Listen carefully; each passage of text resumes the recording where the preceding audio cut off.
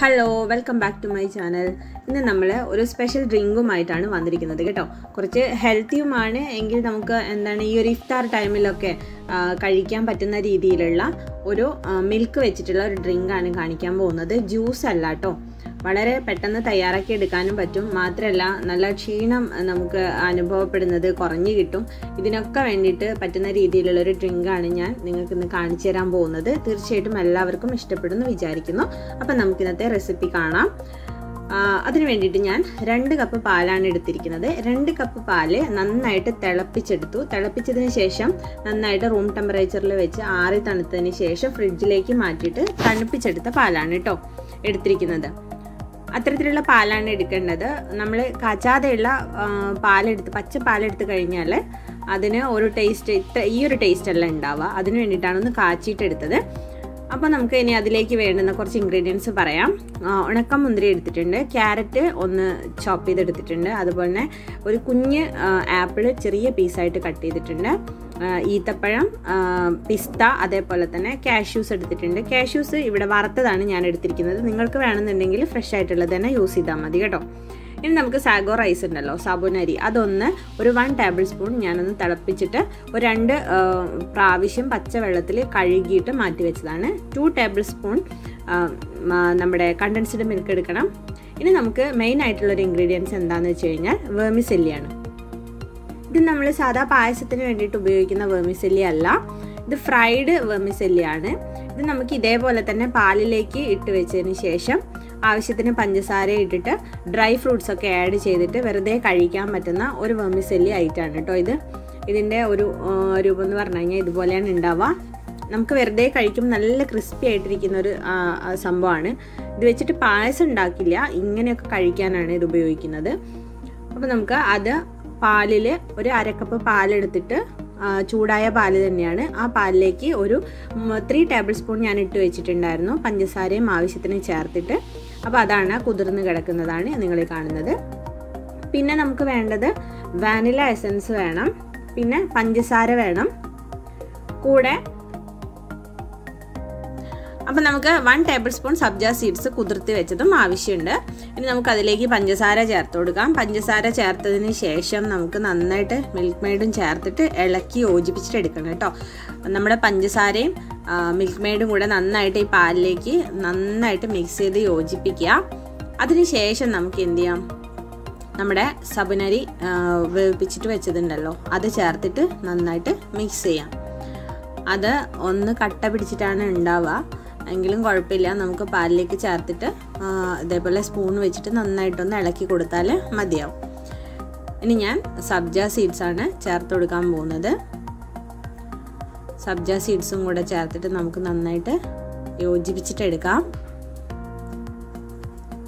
എന്തൊക്കെ ഫ്രൂട്ട്സുകൾ നിങ്ങൾക്ക് ചേർക്കണം എന്നുണ്ടെങ്കിൽ ചേർക്കാം. നിങ്ങളുടെ കയ്യിലുള്ള ഫ്രൂട്ട്സുകളൊക്കെ ചേർക്കാം. ഇല്ലാന്നുണ്ടെങ്കിൽ ഡ്രൈ ഫ്രൂട്ട്സ് മാത്രം മതിയെങ്കിൽ അതും ചേർത്താൽ മതിയാവും.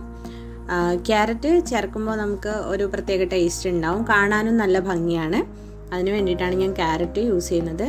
ഇത് നന്നായിട്ട് തന്നെ ഒന്ന് മിക്സ് ചെയ്തിട്ട് എടുക്കുക ഇല്ലാന്നുണ്ടെങ്കിൽ ഒരു ഹാൻഡ് വിസ്ക് വെച്ചിട്ട് ഒന്ന് നന്നായിട്ട് ഇളക്കി കഴിഞ്ഞാൽ ഈ കട്ട പിടിച്ച് കിടക്കുന്ന നമ്മുടെ സാഗോ റൈസൊക്കെ നന്നായിട്ട് യോജിച്ച് കിട്ടും അതിന് പാലിനകത്തേക്ക്.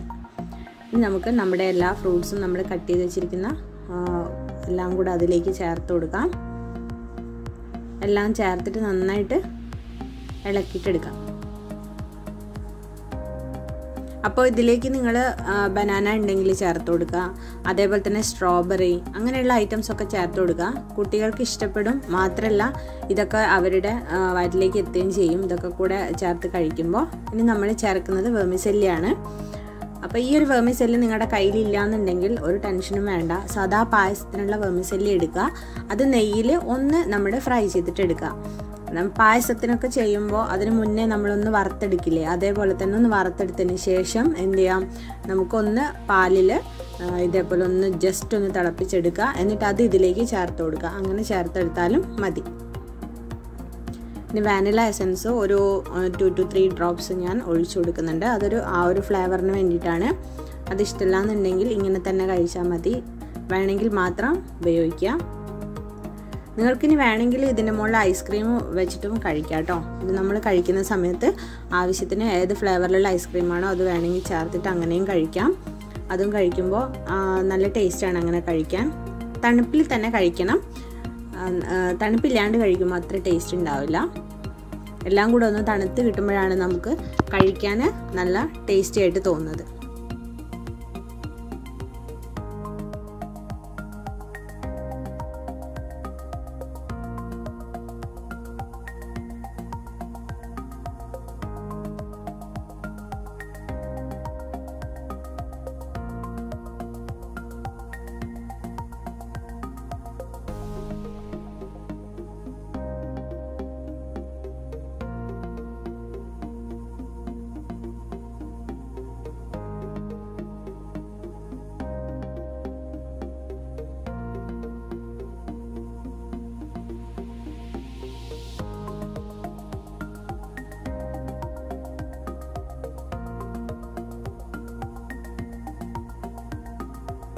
ഇനി ഒരു മൂന്നാൽ ഐസ് ക്യൂബ്സും കൂടെ ഞാനിതിലേക്ക് ചേർത്ത് കൊടുക്കുന്നുണ്ട് കേട്ടോ. ആ ഒരു തണുപ്പ് നമുക്ക് അതിൽ നിലനിൽക്കാൻ വേണ്ടിയിട്ടല്ലേ അതൊരു ബാലൻസ്ഡ് ആയിട്ട് കിട്ടാൻ വേണ്ടിയിട്ടാണ് ഞാൻ ഐസ് ക്യൂബ്സും കൂടെ ചേർത്തിട്ടുള്ളത്.